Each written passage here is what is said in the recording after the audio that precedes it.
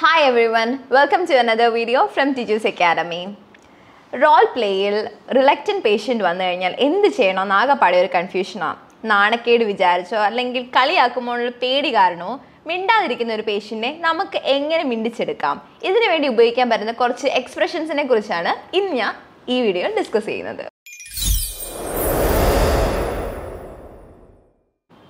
For giving you the correct diagnosis please share your problems. If you could ventilate your concern, I can definitely help you. I can sense your concerns, but don't worry, we are here to help you.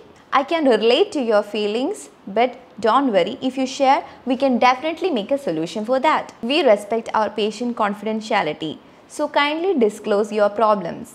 So implement these expressions next time you speak and if you like the video, don't forget to like and comment.